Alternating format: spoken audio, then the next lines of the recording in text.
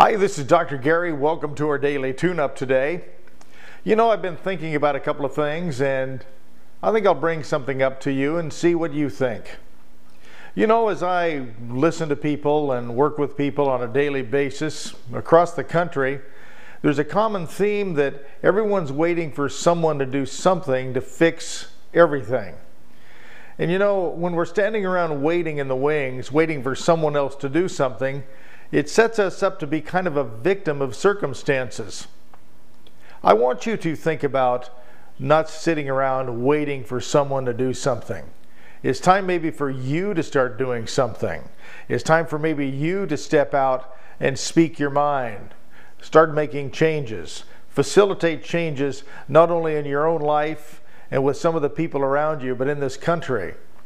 We keep talking about rebooting America, meaning that we'd like to push a reset button and change the way we think about things. Understanding when we do change the way we think about things, things start changing. And that's exactly what I want you to do today. I want you to think about rebooting yourself. We've said that before. But remember, if you're waiting around for the government to fix things, for someone else to fix things, or thinking that someone else is working on it, you could be wrong. Maybe you're the one to be working on things. It's time not to allow yourself to be a victim of circumstances. It's time now to become victorious in you making decisions that are not only going to change your life, but the lives of people around you. It's time to step up Get involved. Get involved in volunteering. Get involved with helping other people. Get involved with creating a new business, maybe something that no one's ever done before. Maybe getting involved in retraining yourself for a new career rather than waiting around for a job, trusting and hoping that something will open up. We don't know what's going to happen. We never do. That's what makes life exciting is when we really don't know what's going to happen.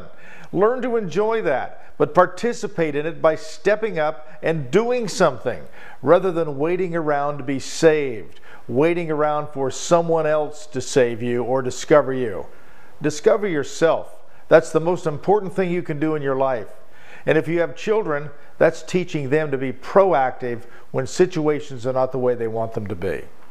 Until tomorrow, this is Dr. Gary asking you to step up to the plate now do something rather than waiting around for someone else to. They might not even be thinking about it. Bye bye.